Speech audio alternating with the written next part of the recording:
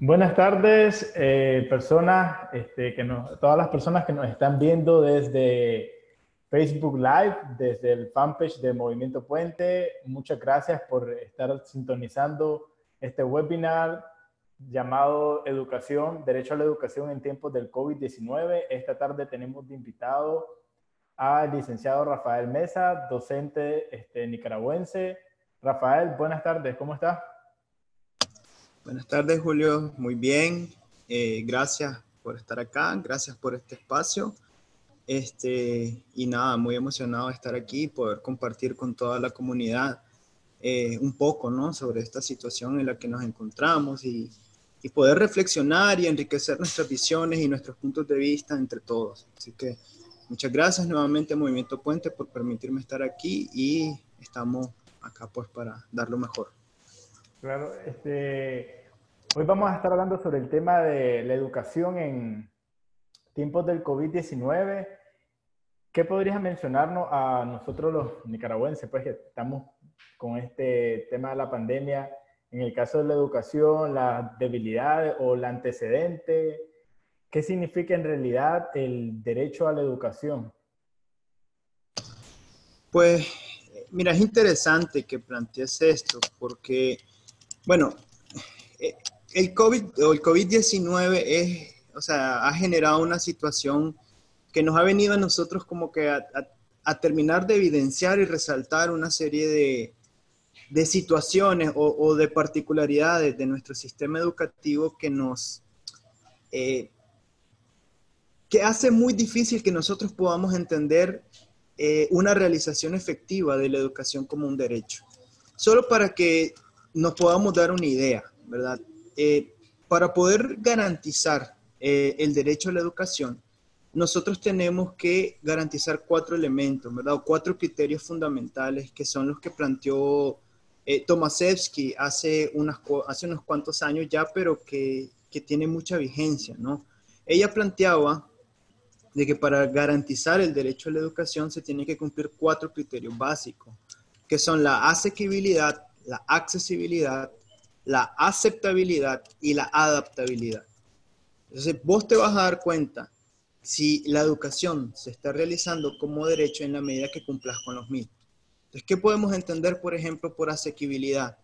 Eh, que haya infraestructura, que haya edificios adecuados y que hayan suficientes materiales didácticos, eh, que haya suficiente capital humano, pero es decir, cuando hablamos de suficiente capital humano, que estén que, el personal docente y los técnicos educativos estén adecuadamente eh, calificados, adecuadamente capacitados, pero también adecuadamente pagados. Eh, que dentro de, ese, dentro de esa infraestructura dentro de todo este sistema, más bien, que los, las familias también puedan elegir la educación de acuerdo a los intereses que tienen eh, sus niños, sus hijos y sus hijas. Entonces, eso es el primer criterio. En cuanto al segundo criterio, el tema de la accesibilidad, ¿qué entendemos por una educación accesible? Pues implica poder participar en los procesos educativos, poder participar en, tu proceso de enseñanza, tener las oportunidades sin recibir ningún tipo de discriminación, sin ser excluido por tu condición de origen, por tu origen étnico, por tu raza, por tu sexo, etc. Eh, pero también implica una accesibilidad física, es decir, que haya una seguridad cuando vos puedas llegar, o sea, que no te arriesgues vos eh, como persona en tu integridad para poder acceder a la escuela y que además esté en un lugar que esté relativamente accesible o cercana de donde vos vivís. Eh, y también tiene que ver con la accesibilidad económica, es decir, que pueda haber eh, facilidades, ¿no? Que, que tu situación económica no sea un impedimento para vos poder estudiar. Entonces, eh, esos son, ese es el criterio eh, de accesibilidad.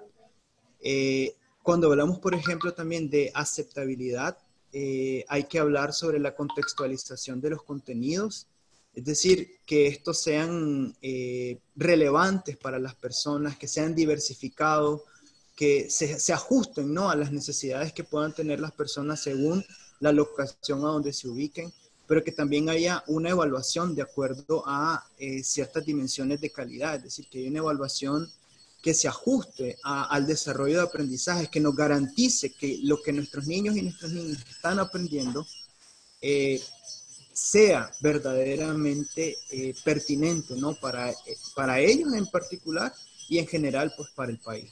Y el último criterio con el que Tomaszewski plantea eh, estos los criterios, ¿no? Para entender el derecho a la educación, entonces es la adaptabilidad.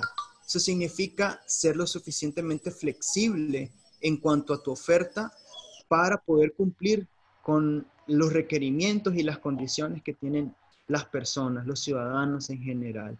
Pero también implica que puedas tener una oferta eh, educativa que también contemple a los que históricamente han sido marginados ¿no? por la educación formal. Entonces, si vos te fijas, tenés cuatro criterios fundamentales para entender la educación como derecho. Y eso, o sea, obviamente cada uno de ellos da para poder hacer o sea, miles de análisis.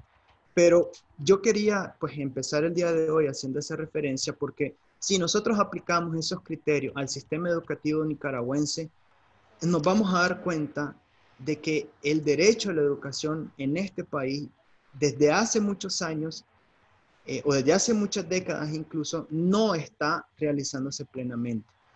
Veamos, si nos ponemos a ver si la educación es asequible, bueno, partamos del hecho de que el salario docente es el más bajo de toda la región centroamericana acá. Y en nuestro caso, eh, con costo y llega a cubrir la mitad de la canasta básica. Entonces, eh, de entrada ya tenés un gran problema porque no cumplís con uno de los criterios, que es tener eh, una docencia que además sea bien remunerada. adicionalmente, pues se ha visto ¿no? que en algunas investigaciones recientes el, tema de la formación docente también ha sido algo que está siendo dejando, está siendo, sí, sí, se ha dejado de lado en los últimos años y vemos que los procesos de, formación docente ahí tienen mucho margen de mejora todavía. Eh, otro elemento para poder valorar, por ejemplo, el tema de la asequibilidad, el tema de la ejecución presupuestaria. O sea, nosotros padecemos un gran problema de subejecución presupuestaria. ¿Qué significa eso? De que hay una inversión que es insuficiente. Solo para que tengas una idea, en, el, en, el en la ejecución presupuestaria, en el informe de ejecución presupuestaria del primer trimestre de 2019, eh, tuvo, tuvimos una inversión del 0% de la ejecución para el mejoramiento de condiciones en preescolares. Y solo tuvimos, ni siquiera llegamos al 20% para mejorar las condiciones de las escuelas primarias. Y en donde más o menos se despunta, pero aún así es insuficiente, es para mejorar la, eh, la, infraestructura, las condiciones de, de, de, las escuelas de nivel secundario con un 43%. Entonces, eh, hablamos, de, un, de, hablamos de una inversión que es insuficiente, es decir, no se está garantizando que hay una eh, suficiente inversión en, en, en, temas educativos. Si a eso le sumamos el hecho de que nosotros todavía estamos a un nivel de inversión del 4% o sea, del PIB, cuando ya tenemos países como por ejemplo Costa Rica que está proyectando en la búsqueda del 6%, o en países como en Brasil, ¿no? que ya están eh, pensando en empezar a invertir el 8, el 10%. Es decir, te das cuenta que hay como una especie de conformismo alrededor de la, de la inversión que se quiere hacer. Eh, el tema de la accesibilidad también. Todavía tenemos una cobertura que es insuficiente, por mucho que los datos de matrículas nos muestren que hay un 90% eh, o que alcanza casi niveles universales, lo cierto es que diversos estudios a lo largo de la historia de Nicaragua han hablado de una desigualdad en la matrícula, sobre todo en las áreas eh, rurales eh, y, en las, y en las de la zona, en, en, los de la costa caribe. Claro, entonces... perdón, este, estoy hablando en el caso de la matrícula, pero al final del año la cantidad de deserción es mucho este, mayor o es la mitad de la cantidad de matrículas. Exacto. Cuando, por ejemplo, cuando en, por ejemplo, la tasa neta de primaria se dice que está casi en un 90%, pero luego cuando vos ves eh, cuando terminan, o el porcentaje de niños que terminan la primaria, eh, es poco más del 60% de los que terminan. Sea, es una, una, una, dificultad, hay una gran dificultad para poder retener a las personas y eso tiene mucho que ver con el tema de eh, si verdaderamente la educación está siendo, eh, está correspondiendo con los intereses de, de, la familia. si está correspondiéndose con las necesidades de desarrollo, si están ofreciendo alternativas atractivas, si verdaderamente se está logrando hacer una flexibilización del currículo para poder adaptar a los intereses y las necesidades de los niños, de las niñas, de su familia. Entonces, esos datos que están ahí en cuanto a la pérdida de, o más bien los niveles de deserción, tienen mucho que ver también con otros criterios, ¿no? Sobre la aceptabilidad y la adaptabilidad. ¿Qué quiero, ¿A qué quiero llegar con esto, Julio? Que en la situación del COVID-19 lo que hace es evidenciar que nuestro sistema educativo no se, no se entiende a sí mismo sin, eh, sin la escuela como infraestructura, no como, como pensamiento o como ideario, o no se entiende eh, a sí misma eh, sin la infraestructura, sin el espacio físico, con los pupitres puestos en fila, el profesor dictando la lección y los muchachos pues copiando lo que el profesor les pueda decir. Entonces, cuando vos tenés una, un sistema educativo que está desfasado, que no puede resolver los grandes problemas de aprendizaje que tenemos en el país y es inflexible, resulta que cae una situación como la del COVID-19 en donde te deja todavía en una situación más compleja, en una situación más, más difícil todavía, porque resulta que a todas las barreras educativas que anteriormente tenía, le tenés que sumar una más, que es el manejo de la tecnología, el manejo de metodologías para la enseñanza a distancia, eh, la capacidad de acceso al Internet, la capacidad de acceso a otros elementos. Entonces, eh, o sea, eh, es una situación que viene a agravar un sistema que de por sí ya es desigual, ya es carente de equidad, ya es injusto en muchos sentidos y es inflexible. Entonces, eh, al final se combinan dos elementos que eh, nos hace pensar cuál va a ser el verdadero futuro de la educación, porque necesitamos principalmente cambiar los enfoques. O sea, la situación del COVID-19 nos tiene que hacer reflexionar sobre la importancia de cambiar estos enfoques y pensar en una educación que verdaderamente sea pertinente para estos tiempos. Y ahí entonces donde, ah, como mencionaste, como un sistema educativo que se basa en, en una estructura física, en una escuela, en pupitre, ahí donde en estos momentos de pandemia en el que los estudiantes tienen que estar desde su casa, tienen que estar a través de plataformas en línea estudiando, es donde el sistema como que se cae, ¿verdad? O no funciona del todo porque no hay un aula, no hay un pupitre, entonces no, no funciona. ¿Qué es lo que está pasando actualmente con los chavalos que van a la escuela, incluso de chavalos de universidades? Exactamente, sí, e, es lo que te decía, o sea, el problema, de el problema de la educación durante esta época de pandemia no es solo un problema de acceso a la tecnología, que está, sea, que, que, es evidente, o sea, está, no, no lo podemos negar, pero también es un problema de enfoque. Eh, todos ahorita estamos trabajando con un modelo de educación a distancia y entonces eh, esa educación a distancia, lo que mucha gente tal vez no, o, muchos no, no hemos terminado de entender, es que requiere muchas transformaciones en las prácticas educativas, pero esas transformaciones de la educación a distancia o sea, también son necesarias eh, para poder ofrecer educación en situaciones que, que, no están propiamente inmersas en contextos de emergencia. Entonces, por, por eso te vas a encontrar situaciones bien negativas, como por ejemplo la saturación de, la, de, de los trabajos de los niños y de las niñas, eh, o de los adolescentes también. Eh, te vas a ver a veces que con, con, con agendas o, o, con guías de trabajo que se vuelven como que bien monótonas, repetitivas, porque lo que estás tratando de hacer es repetir en un formato o, más bien empaquetar lo que vos haces en el edificio, en el aula de clase, empaquetarlo en un formato virtual, digital.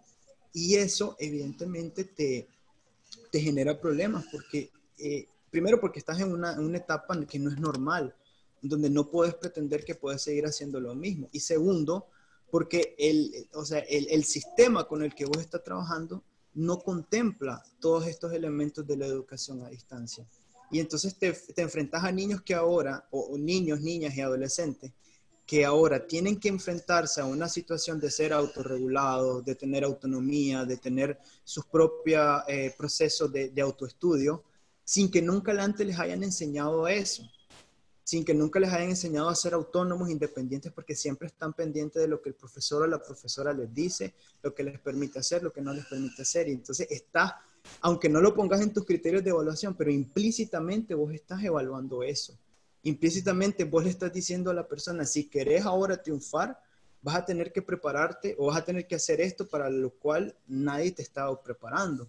Hay algunos que a lo mejor la han tenido el respaldo de sus familias y les han enseñado esa disciplina pero yo me atrevo a decir, ¿verdad?, que esa no es la gran mayoría de, de, los casos aquí en Nicaragua. Claro. Sí, este, sí, yo en realidad, este, viendo en mi casa, pues en mi, hogar a mi sobrino, hemos podido ver esa parte de la guía monótona, la repetición de, de hacer, subir un, una guía a un sitio web en PDF y luego descargarlo, llevarlo a la semana siguiente al, a la escuela, pero falta esa parte enriquecedora, porque es como quizás la explicación, pero no está porque el, quizás el sistema educativo, como lo mencionaste, ya está enfocado solamente en un aula, en algo físico. No está en, el área digital, en la educación en línea prácticamente. Eh, ¿Qué pueden hacer los maestros, Rafael, este, para volver un poco más interactivo, ¿qué consejos les daría vos a los que nos están viendo, maestros, docentes, para mejorar esa parte y no caer en la monotonía de, la evaluación o de la enseñanza a distancia? Bueno, hay una serie de elementos que se pueden hacer, eh, pero eso va a depender mucho del contexto en el que ellos se encuentren dando clase. Depende mucho eh, de, digamos, del contexto de procedencia de tus estudiantes, de cuáles son sus necesidades de aprendizaje, de cuáles son sus intereses y cuáles son, en general, pues, lo que necesitas es caracterizar a tu población estudiantil. Porque si vos no haces eso, entonces pensás en una educación, eh, o sea, una educación uniforme, un proceso de, de aprendizaje uniforme, en donde una talla le queda a todos. Y eso es algo que vos no puedes hacer en, un proceso de educación a distancia. Hay algunos que van a necesitar más apoyo, hay algunos que van a necesitar más seguimiento. Entonces, eso. Lo primero que yo le recomiendo a las personas es hacer un análisis situacional. Conoce a tus estudiantes, conoce de dónde vienen, sabe cuáles son eh, sus necesidades, sabe cuáles son sus intereses. Y partiendo de eso, puedes ir encontrando alternativas. Eh, el otro elemento que el otro tip que yo daría, ¿verdad? En ese, en ese particular es que hay que tener claridad, miren, y en ese sentido como docente eh, y como director de un centro educativo, yo creo que también hay que ser bien claro. O sea, no es cierto que vas a poder cubrir todo lo que está en el currículo. Y no es cierto que vas a ser el mejor docente a distancia si haces que los chavalos abarquen la mayor cantidad de contenidos y los saturas de, de actividades de aprendizaje. Eh, los expertos en esta materia coinciden de que tenés que hacer un mapeo curricular y tenés que identificar aquellos contenidos que se prestan al proceso de educación a distancia. O sea, tenés que hacer ese trabajo, tenés que entender que no todo lo que está en el currículo lo vas a poder abordar. Y eso de cierta manera también es como quitarte una carga, porque si, nadie te puede juzgar por eso. Nadie te puede juzgar por eso porque no es una situación a la que estemos acostumbrados. A ver, en situaciones normales es imposible abarcar con todo lo que establece el currículo, porque como le dije anteriormente, es un currículo basado en contenido que está sobresaturado además, y que mucho de lo que se aprende ahí es irrelevante, son solo contenidos declarativos que, que bueno, pues que tienen un valor para, o sea, semántico, de significado, si querés, pero, pero el tema del desarrollo de competencias y habilidades es lo que tiene que primar siempre, y más ahora en este contexto. Entonces, eh, eso, ¿no? O sea, además de caracterizar a tu población estudiantil, tenés que saber cuáles son las competencias que querés desarrollar, no los contenidos. O sea, de primero definir qué competencias querés desarrollar eh, en tus estudiantes y después empezar a ver cuáles temáticas eh, se prestan para el desarrollo de, esa, de esos contenidos. A mí me ha tocado ver, por ejemplo, profesores que se enfocan tal vez en el tema de, los puntos cardinales, ¿verdad? Que es un tema que está en el currículo que lo tenés que abordar constantemente. Bueno, pero yo le decía a esa persona, ajá, pero esto cómo le va a servir al estudiante para poder desarrollar habilidades superiores del pensamiento, cómo le va a poder ayudar a, promover la reflexión crítica, cómo le va a ayudar a promover la comprensión lectora. Entonces, eso, o sea, ese primer trabajo de caracterización de tu población estudiantil la tenés que, que complementar con eh, e, esa definición, ese mapeo curricular. Primero, definiendo cuáles son las competencias que querés desarrollar y luego priorizar aquellas temáticas que se prestan para poder eh, diseñar experiencias de aprendizaje. Repito, no todo el currículo se puede abordar, hay que priorizar. Eh, Una vez, ¿sí? Alexander Reyes Guevara nos comenta en Facebook que lo que estábamos hablando, incluso más allá de la época de formación en autonomía y autogestión del estudiantado, la educación a distancia no debe significar trasladar lo físico a lo digital, que era lo que estabas mencionando. Exactamente. Es un proceso que pasa por la preparación y capacitación de toda la comunidad estudiantil, porque el reto no está solo en la escuela y docentes, sino también en casa. Claro, en los hogares eh, nos enfrentamos también a la realidad de que no hay condiciones. En muchas casas, eh, en Nicaragua, pues muchas familias están hacinadas, eh, viven no una sola familia, sino que hay varias familias en una sola casa, quizás no están las condiciones para eh, hacer uso adecuado de la información o, ponerse a estudiar, por así decirlo. Exactamente. Exactamente, por eso yo insisto en el tema de caracterizar a tu población estudiantil. Eso es importante saber, pero es que además también tienes que definir, o sea, eh, ¿cómo te decir? En consonancia con lo que plantea este profesor, también tienes que ver cuál es tu alcance, o sea, a dónde puedes llegar vos.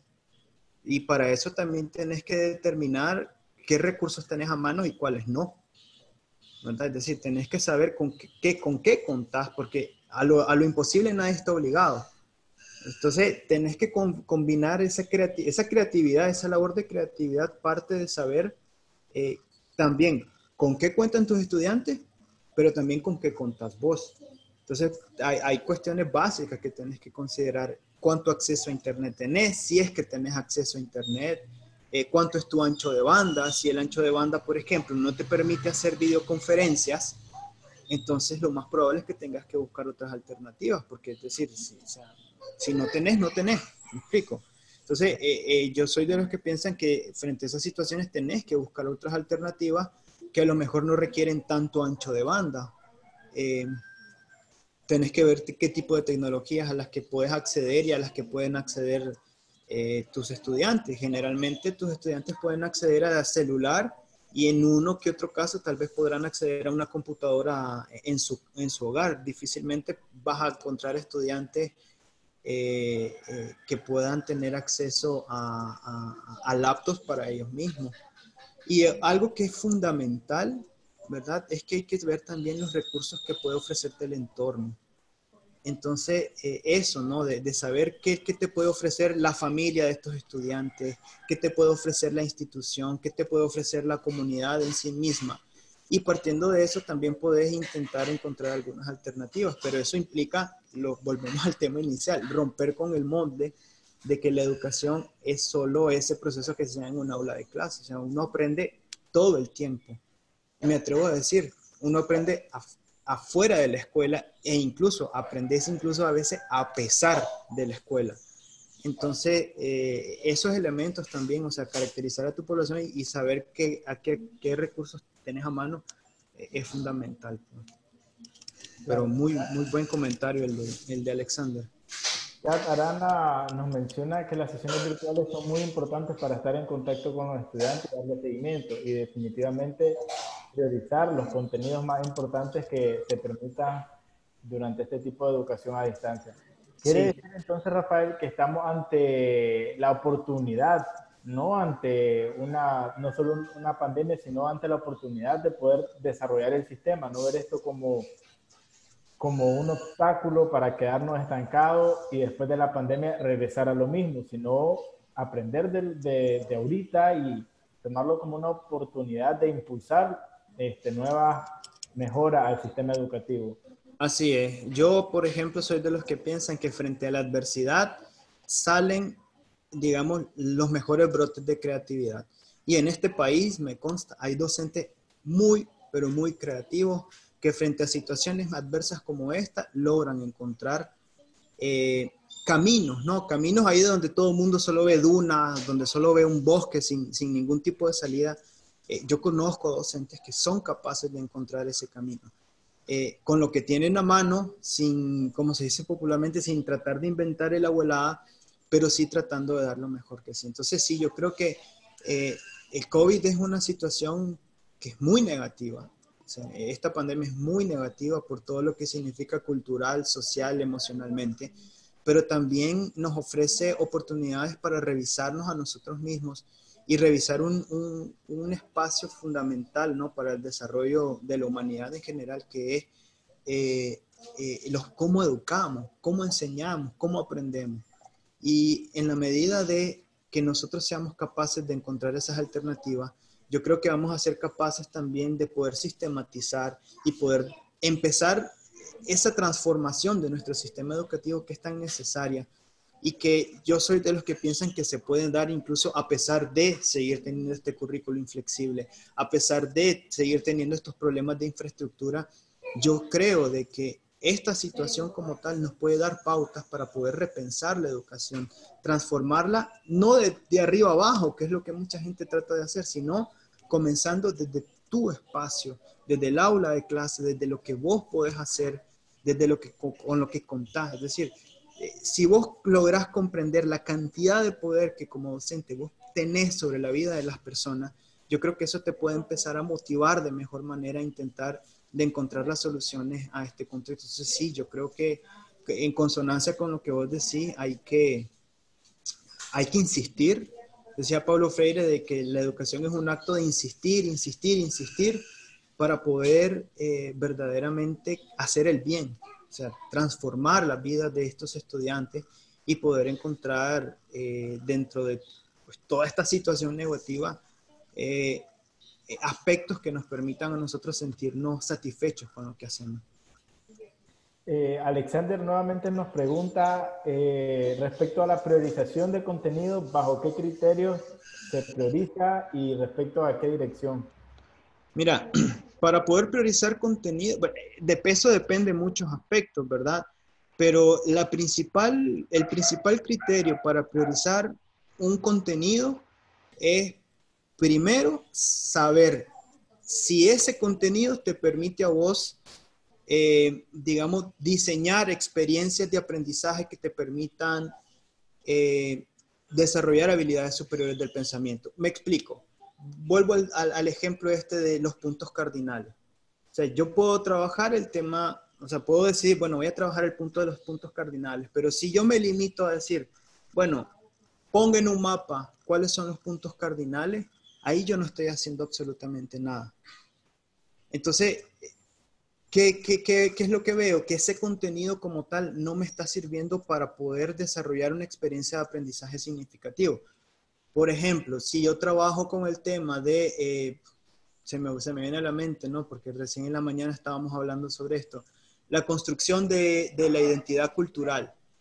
Entonces, eso a mí si yo trabajo con la construcción de la identidad cultural, yo puedo, mira, este, andásele con base en esta encuesta o en esta entrevista que yo te estoy pasando, andásele una entrevista a tu familia sobre eh, lo, que, lo que, sobre cómo se comportan en el día a día. Entonces ahí está, el estudiante puede recuperar eso que es parte del conocimiento de su entorno y entonces yo después puedo pedirles a ellos, bueno, socialicemos qué encontraron, qué discutieron, qué vieron y entonces vamos viendo, por ejemplo, los puntos en comunes, lo, o sea, que mi papá hace esto, que mi mamá hace aquello, que mi, que mi abuelo hace esto, y entonces voy encontrando, digamos, voy haciendo por, por un trabajo de inferencia, estoy tratando, o más bien por un trabajo de inducción, estoy tratando de encontrar cuáles son los puntos en comunes que se desarrollan en la familia para tratar de ver qué es lo que caracteriza al nicaragüense. Entonces, ese trabajo de hacer, de hacer una inducción, eso sí es una habilidad superior del pensamiento. Entonces, a lo mejor yo prefiero desde el área de ciencias sociales trabajar en la construcción de la identidad cultural y no estar trabajando los puntos cardinales que no me van a llevar a ningún lado. Pues. Entonces, eh, depende mucho de las competencias que quieras desarrollar y de las habilidades que quieras implementar en tu, en tus estudiantes. Eh, ¿Cómo se, será la evaluación o, cómo crees vos que debería ser la evaluación? Porque, como mencionaste, este, muchos de estos centros educativos están eh, trabajando con eso, hacen un mapa, tráemelo la próxima semana. ¿Cómo o qué recomendás vos para hacer una evaluación en, este tema de educación a distancia? Sí, primero, voy a ser bien práctico. Primero, no hay que confundir las actividades de aprendizaje con las actividades de evaluación. Eh, las actividades de evaluación, yo soy de los que piensan de que tienen que ser eminent, o sea, preeminentemente formativas y que lo sumativo tiene que ser como que la cereza del pastel. ¿Qué significa esto? De que yo no le puedo pedir a una persona, mira, hacete un análisis, si antes yo no le he enseñado cómo hacer un análisis. Yo no le puedo pedir a alguien, hacete un ensayo, si antes yo no le he enseñado cómo hacerlo. No le puedo pedir a una persona, mira este tutorial, resolve estos ejercicios que te pongo a continuación, si antes yo no les enseñé cómo resolver estos ejercicios. Entonces, eh, todo, ese, todo ese camino que me lleva a mí al dominio de una habilidad, yo a eso le llamo actividades de aprendizaje. Cuando yo ya he logrado, mediante un proceso de evaluación formativa, mediante eh, una observación constante, un registro del progreso que tiene el estudiante, cuando yo ya he visto que esa persona es capaz de hacer esto de forma autónoma, sin necesidad mía, entonces es ahí donde yo ya le puedo pasar un ejercicio eh, que consiste en una evaluación de tipo eh, sumativa. Ahí sí yo ya le puedo decir, elaborame un ensayo sobre tales y tales temas. Entonces, ¿qué tengo que hacer yo? Para ese ensayo tengo que determinar eh, los criterios de evaluación. ¿Qué es lo que quiero de este ensayo? Quiero que eh, redacte correctamente con coherencia, quiero que se pronuncie sobre tales o cuales aspectos, quiero que haga esto, quiero que haga lo otro. Entonces, a cada uno de esos criterios yo le voy haciendo un puntaje. ¿Qué significa hacer eso? Significa crear un instrumento. No es solo hacerte un ensayo y cuando me lo entregas yo vengo y, te lo evalúo del aire, que es lo que suele pasar. No, conforme una rúbrica en donde yo defino los criterios que quiero evaluar, yo le digo a esa persona, mira, quiero que hagas esto, esto, esto en tu ensayo y quiero que contemple estos aspectos. Entonces, eso le ayuda al estudiante a guiarse y sabe de antemano qué es lo que quiere hacer, por ejemplo, en el caso de este ensayo.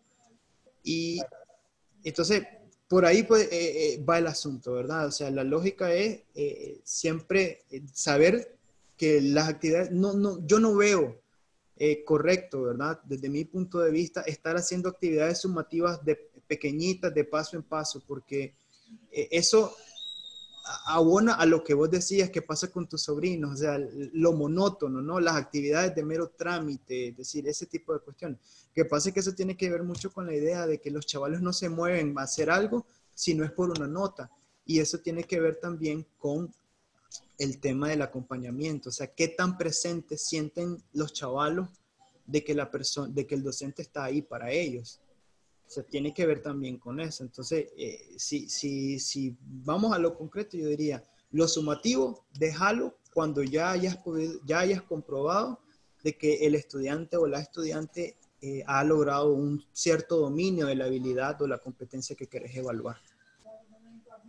Claro. Eh, conocer o qué plataformas este, funcionan eh, a la perfección o por lo menos ayudan bastante a estar más conectados con los estudiantes en base a tu experiencia o las que vos conoces que podrías recomendarle a otros maestros para darle este, esa interacción.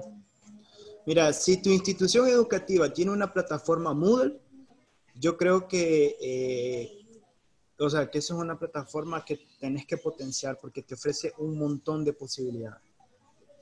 Pero bueno, eso implica, o sea, no todas las instituciones tienen acceso a una plataforma Moodle, pero todas las personas, incluso a nivel individual, tienen acceso a esta famosa plataforma que se llama Classroom.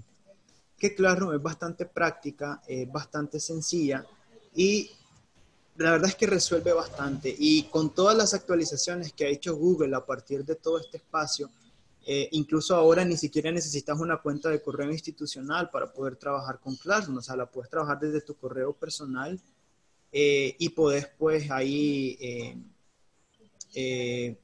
Eh, con bastante iniciativa, puedes crear foros de aprendizaje, puedes compartir, este, puedes compartir videos que te puedes grabar vos mismo o las lecciones que quieras plantearles, puedes compartirles recursos como videos, lectura.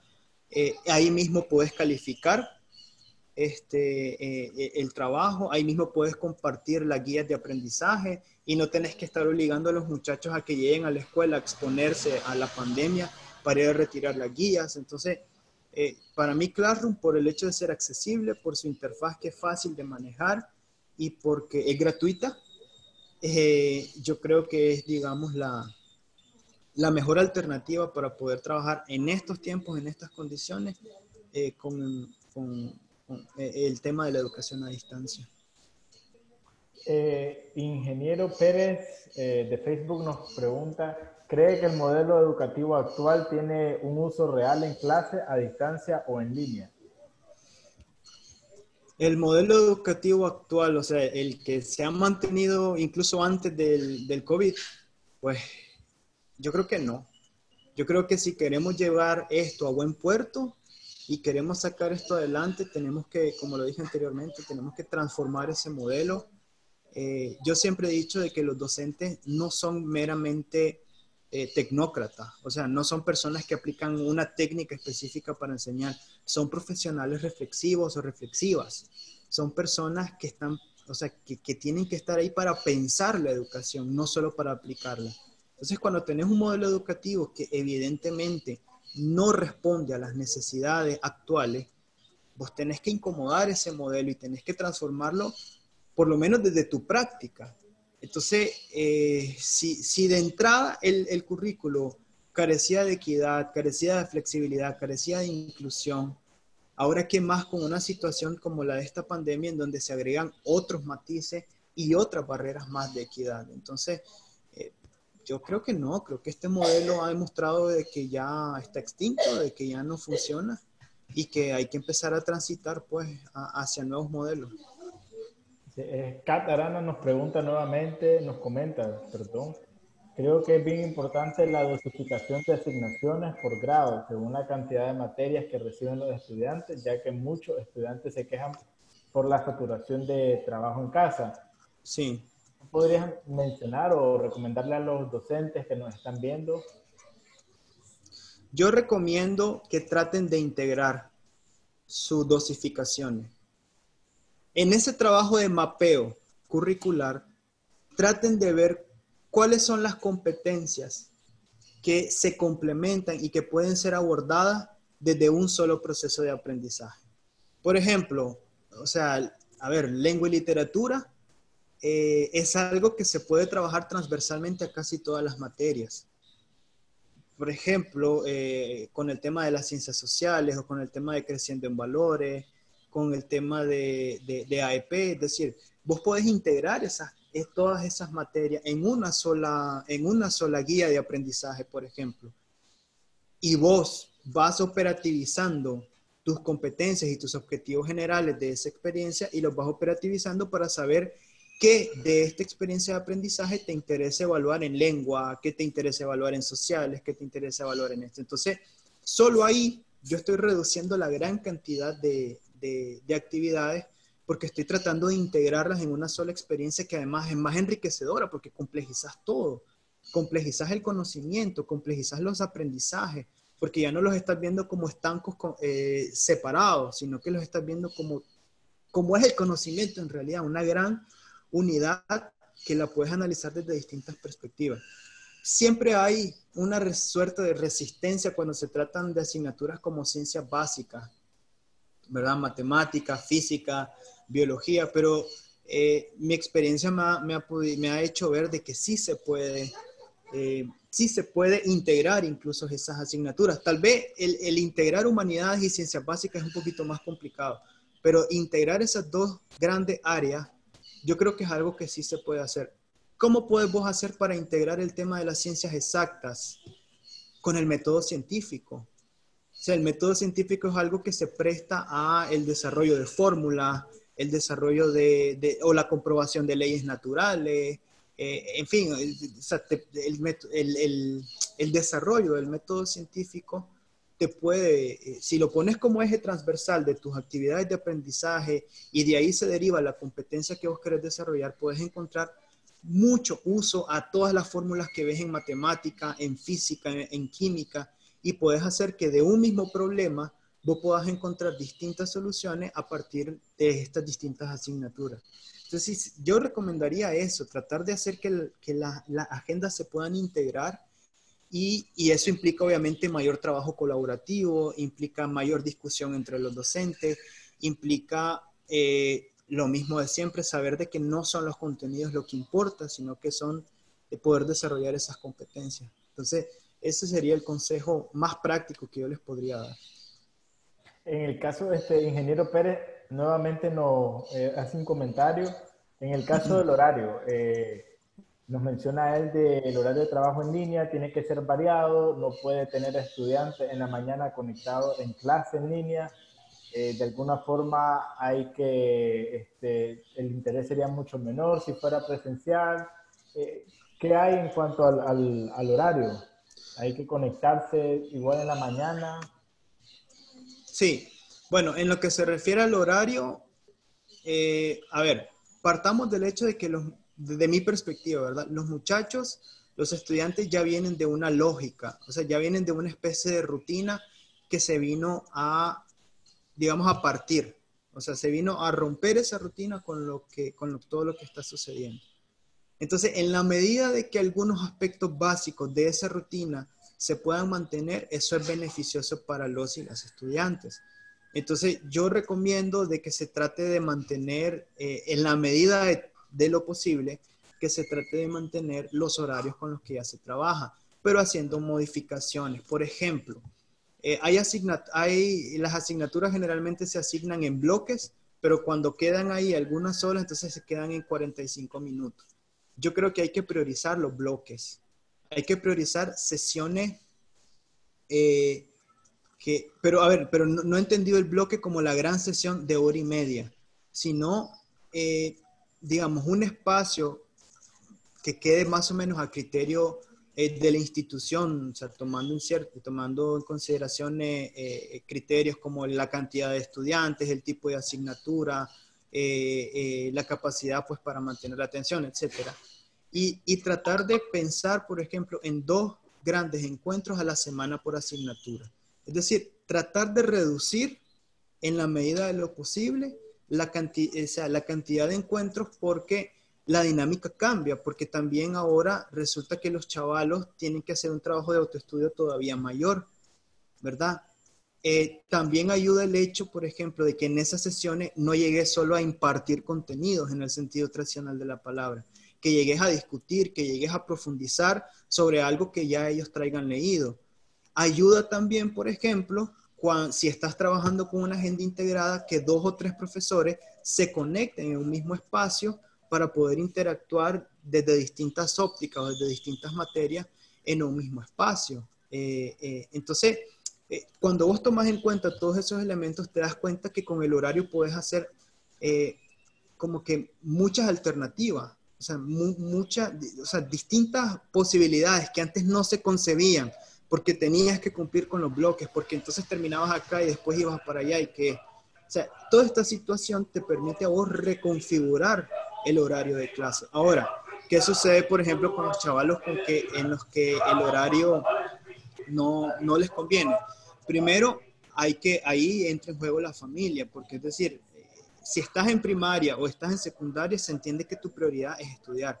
Claro, estando en la casa, obviamente que tenés que asumir otro tipo de responsabilidades. Casi todos nuestros chavalos sabemos de que tienen que de alguna u otra manera eh, cumplir con ciertas responsabilidades en su hogar.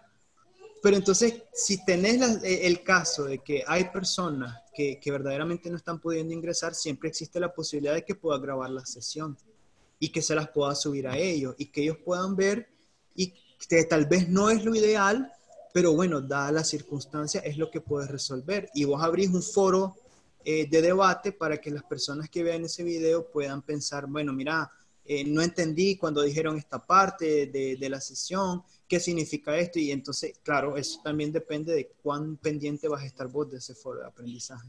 Entonces, a, lo que quiero llegar es que Es decir, no nos atemos a una camisa de fuerza. Pensemos, reflexionemos qué es lo que más les conviene a los chavalos según el contexto en el que se encuentran y tratemos de encontrar alternativas creativas. Por ejemplo, eso de poder, poder juntar a dos, tres profesores para abordar una misma temática, pero desde distintas asignaturas, eso te agiliza muchas cosas, eh, te permite complejizar el conocimiento, te permite generar una mayor interacción y eso también ayuda pues a que los chavalos también se mantengan motivados. Claro. Bueno, eh, esperamos que todo esto que conversamos el día de hoy haya sido de mucha utilidad para los docentes, estudiantes y personas en general que nos estuvieron viendo durante estos 45 minutos, Rafael. Eh, quedamos con la deuda de darle seguimiento a este tema porque sabemos que el COVID va para largo este, y el tema de educación pues, es un cambio que va también a tomar su proceso hacer reforma al sistema educativo y Movimiento Puente desde debates intercolegiales, desde talleres y conversatorio con colegios, ha venido aportando a, a, la educación en Nicaragua. Así que quedamos este, con, ese, con esa deuda para volvernos a ver prontamente o la próxima semana o quizá en un mes o en menos tiempo para seguir abordando el tema de la educación. Muchas gracias por haber estado con nosotros y muchas gracias a las personas que nos estuvieron viendo. Saludos.